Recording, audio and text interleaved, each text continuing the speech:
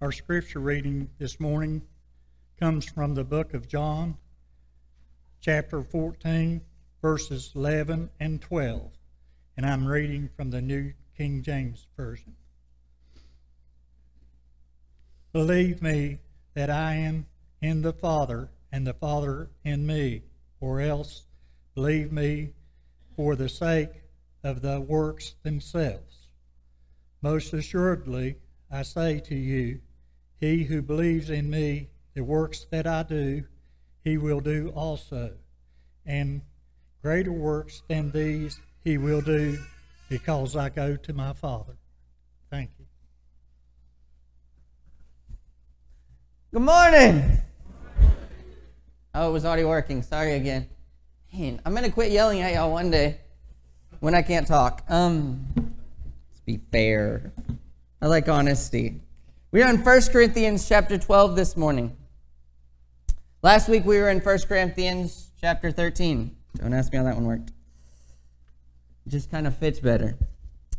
No, the real reason is there's a line in 1 Corinthians 13 that has been used to discredit 1 Corinthians chapter 12. So we did them in reverse.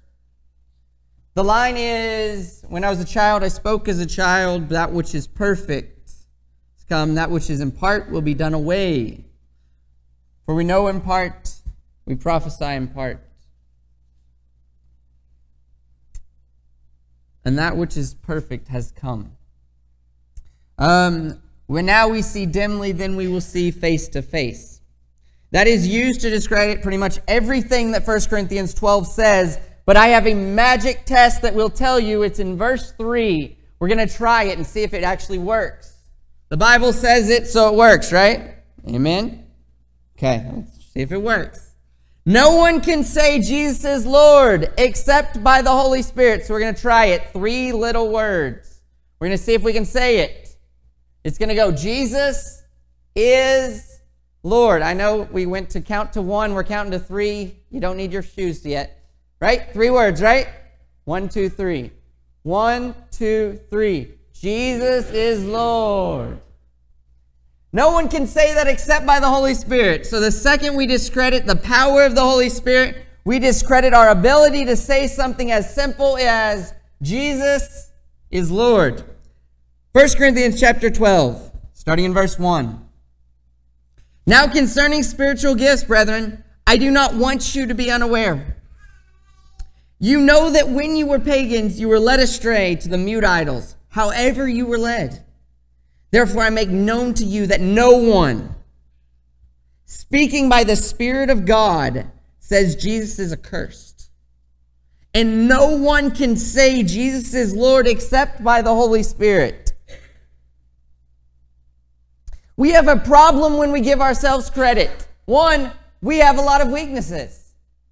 Second, we forget an opportunity to praise God.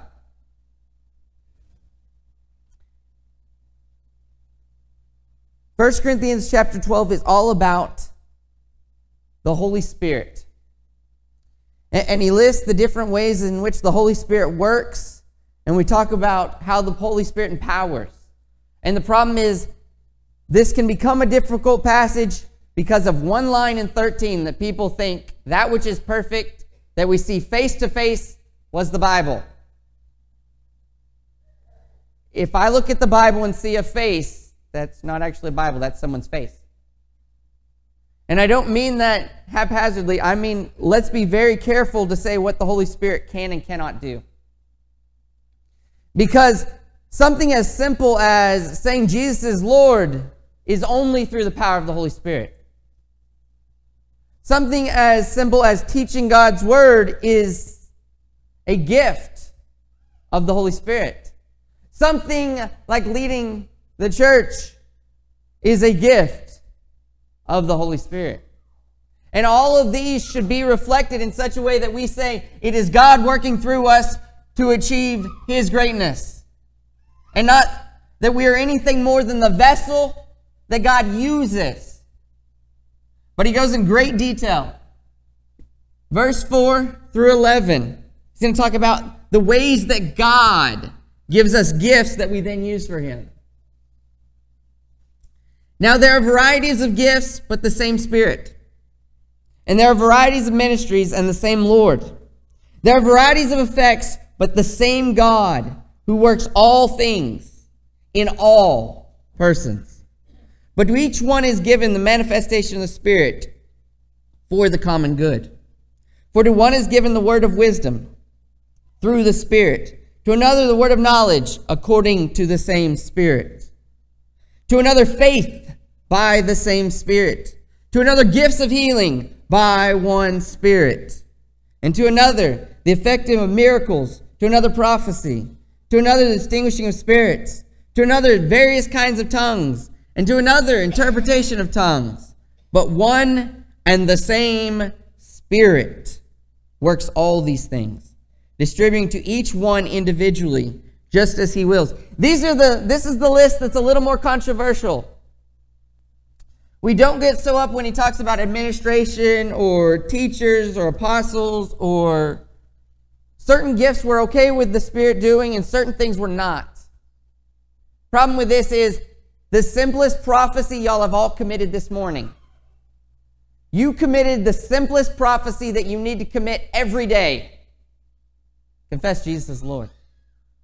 That prophecy in which we are so wicked that we cannot say it, but yet there is one Spirit, one Spirit, the Spirit. Over and over we see this, and the emphasis is this we have gifts. They're the Spirit. We have gifts. It is the Spirit working. And no one chooses their gifts. God designed them. And that one Spirit works through us. And too often we're tempted to say which gifts are, you know, too miraculous and aren't miraculous enough. So I saw a baptism. Have y'all ever seen a baptism? Did y'all really think that water or taking a bath made you holy? Or did you think that God did something miraculous in the middle of somebody getting washed with water? Because otherwise, most people take baths, I hope. Mm-hmm. Not where I'm from, but here they do, right? And too often we will speak of what God is allowed to do, and we will say, fit in our box like we've told you to. And we forget who we're talking to. And we forget that God is able to do all these mighty works. And it is only through Him. And it is to His glory. And it is all for the oneness. He says, for the common good, the one spirit.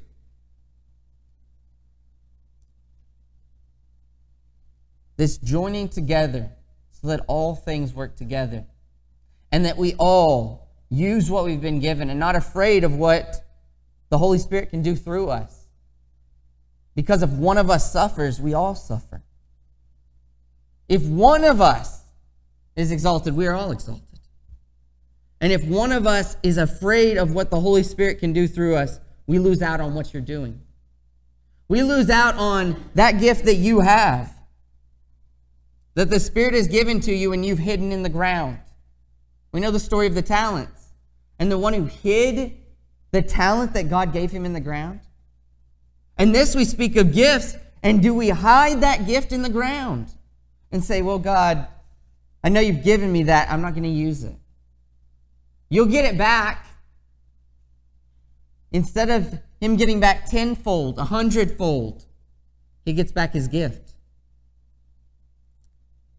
Verse 12, he talks about how this all works together. For even as the body is one, yet as many members, and all the members of the body, though there are many, are one body. So also is Christ. For by one Spirit we are all baptized into one body. Whether Jew or Greeks, whether slaves or free, we were all made to drink of one Spirit. For the body is not one member, but many. If the foot says, Because I'm not a hand, I am not a part of the body, it is not for this reason any less a part of the body. And if the ear says, Because I'm not an eye, I'm not part of the body, it is not for this reason any less a part of the body. If the whole body were an eye, where would the hearing be? If the whole were hearing, where would the sense of smell be? But now God has placed the members, each one as them, in the body just as He desired. I want you to look at this just a second. There's a phrase in here that we've twisted and we've said just because a hand is not a foot, it's not part of the body. That's not actually what it says. It says, if the foot says, because I'm not a hand, I am not a part of the body, it is not for this reason any less a part of the body. The second that you think that you are not enough, you are no less a part of the body. The second you say, I can't do what he can do, you don't become less of the body. When you compare yourselves to others and say you can't, it's not like you're separated. It's not as though you don't contribute. You will always contribute to the body. No matter what you're doing, you're contributing to the body. If you are sharing with the body and building it up, you're contributing to the body. If you're withholding good, you're withholding your trust in God, still contributing to the body. It is not as though you say, Well, I'm not an elder. That's an easy one. I'm not an elder. I don't, you know, need to do that. That's that. I blame that on elders. So, since I'm not an elder, you know, I, I'm I'm not really a part of the body. It doesn't matter as much what I do. And it is not for that reason of me saying I'm not an elder that I'm any less a part of the body. He says, it is not for this reason. Just because we can look at others and discredit ourselves until we have this concept that the way that the Holy Spirit works through us is inferior to somebody else. We don't get instantly removed from the body. There, there isn't instant surgery. I've got a hangnail, boom, gone. Wouldn't that be beautiful though? Just I got a sore, it's fixed. Now they got laser, so it's pretty close, but still takes a little bit. Think about it. It is not the way it works in the body. When, when you are doing nothing, you are just as much a part of the body. Even though you have a gift that could be doing great things in the body, you're looking at something else and going, Well, I'm not one of those. I'm just a little foot. I'm not a hand. I don't know how many of us want to give up our feet, though. Just so we could have an extra hand. I, I like having two hands and two feet. And too often we forget that you have been given the same Holy Spirit as everyone else, and for you to look at another person and say, I'm not that, and I don't care what that is, you're hurting the body. You don't move from the body, you hurt the body because they miss out on you. They miss out on you being the vessel that God uses to put His Holy Spirit into our presence, for Him to be experienced. He goes on to this in verse 19.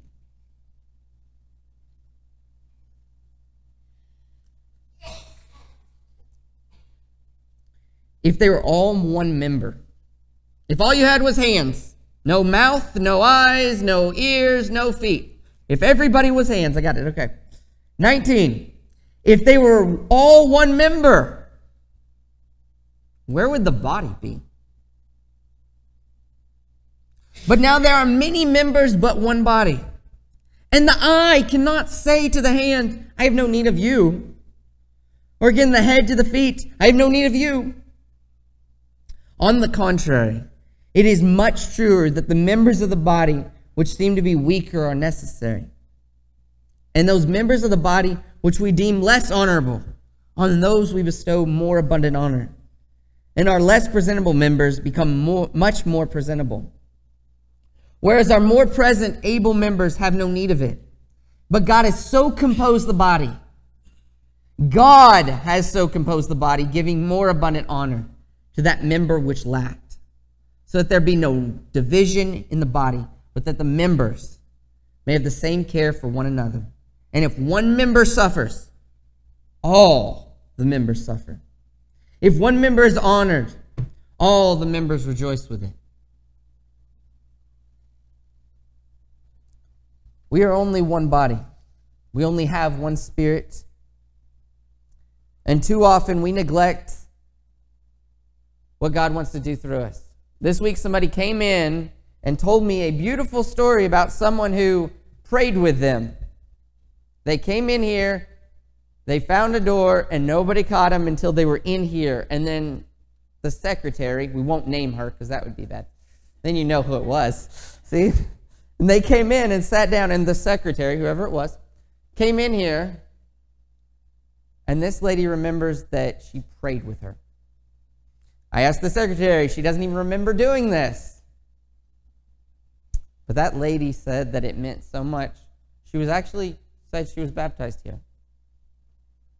And she told me how great God and how great God was working in her life and doing so many things.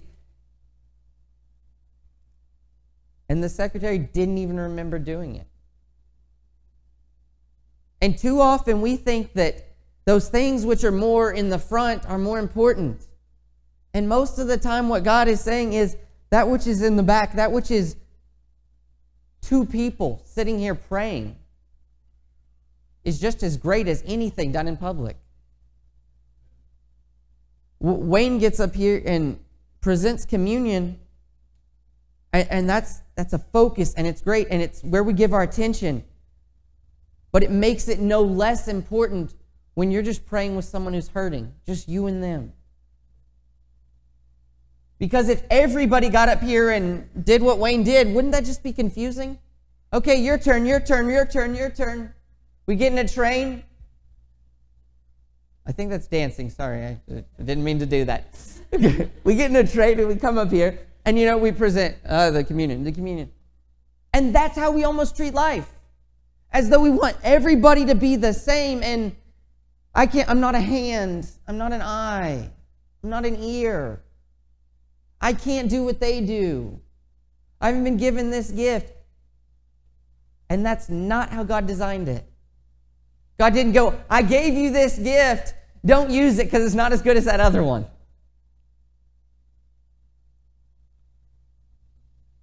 And are we great enough to challenge God and say, God, you've designed things a certain way. I don't like it. Ouch. Verse 27. Not only are we one body, but we are Christ's body. Now you are Christ's body.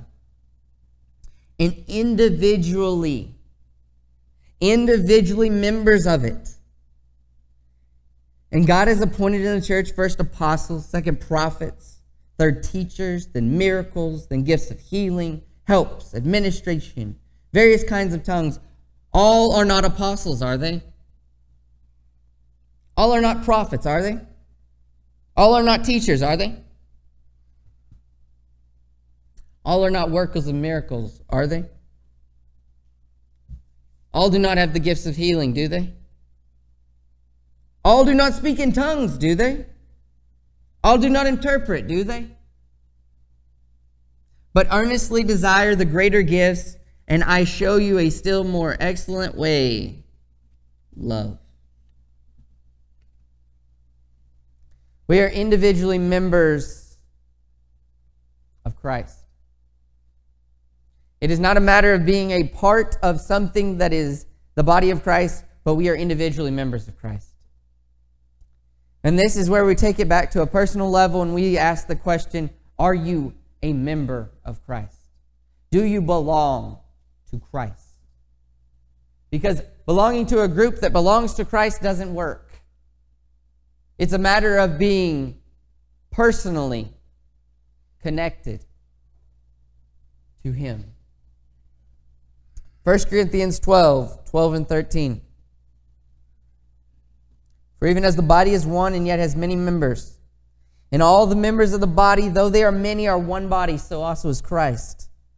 For by one Spirit we were all baptized into one body, whether Jews or Greeks, whether slave or free, and we were all made to drink of one Spirit. Today we ask that question Have you been cleansed? where water is the symbol and the Holy Spirit is working through it. And where you become part of the body and that you can individually say that I belong to Christ, I have the guarantee of the Holy Spirit. And that guarantee says, when I get to heaven, I've got my pass. I've got that Holy Spirit. And knowing that all that He asks of us is that we believe Him. We believe that Jesus is Lord, and through the power of the Holy Spirit, we confess Jesus is Lord. We repent of our sins, understanding that it is His cleansing that we want. We are buried with Christ in baptism, in which we are given the guarantee of the Holy Spirit, that promise that says, when you get to heaven, you're in. And that Holy Spirit that stays with us in a faithful life. If we continue in Him. If there's anybody who has never united with Christ and you don't have that guarantee, you don't have that cleansing. Or if there's anybody who needs prayers or wishes to submit to the eldership here, we ask you, come now as we stand, as we sing.